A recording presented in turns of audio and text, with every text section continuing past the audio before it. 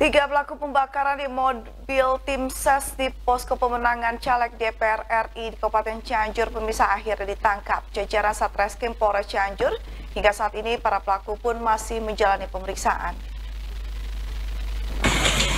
Inilah rekaman video amatir saat sebuah mobil terbakar di posko caleg DPR RI Neng EM Marhamah Zulfa di Kampung Cibadak, Desa Sukanagali, Kecamatan Pacet, Cianjur beberapa waktu lalu.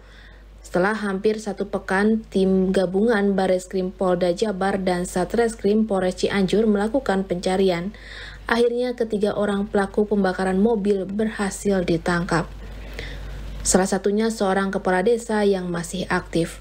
Hingga saat ini ketiga pelaku masih menjalani pemeriksaan di unit 1 Satreskrim Polres Cianjur. Menurut Kapolres Cianjur, ketiga pelaku memiliki tugas berbeda.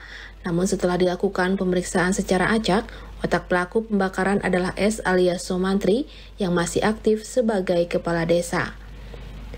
Dari hasil pemeriksaan terungkap, pelaku S nekat melakukan aksi pembakaran dengan melibatkan dua orang pelaku lainnya karena sakit hati dan dendam terhadap caleg DPR RI yang tidak lagi melibatkan dirinya sebagai tim sukses pada pemilu 2024. Otak pelaku pernah dilibatkan sebagai tim sukses pada pemilu 2019 dan saat itu caleg dari PKB terpilih kembali. Tersangka S yang merasa sakit hati kemudian membawa dua orang pelaku lainnya untuk melakukan pembakaran mobil yang terparkir di halaman posko pemenangan dengan harapan berkas C hasil yang dikumpulkan tim sukses ikut terbakar. Selain menangkap ketiga pelaku, polisi juga mengamankan sejumlah barang bukti, yakni satu unit mobil Toyota Alphard warna putih bernomor polisi B1491BVC, jerigen berisi sisa bahan bakar minyak, korek api gas, dan sejumlah telepon genggam milik tersangka.